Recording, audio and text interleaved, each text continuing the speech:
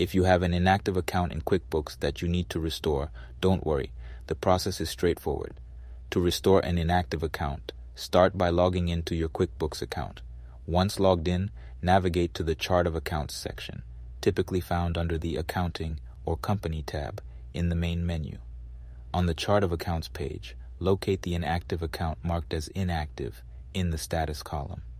Click on the inactive account to select it, then look for the Edit or Make Active option. Clicking on this option will change the account status from inactive to active. Review the account details and make any necessary changes.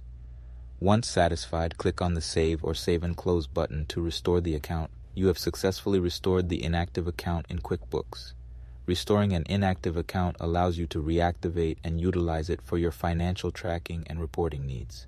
Remember to review the account details and consult with an accounting professional or QuickBooks support if you have specific concerns or questions about your accounts. Thank you for watching, and I'll catch you guys in the next one.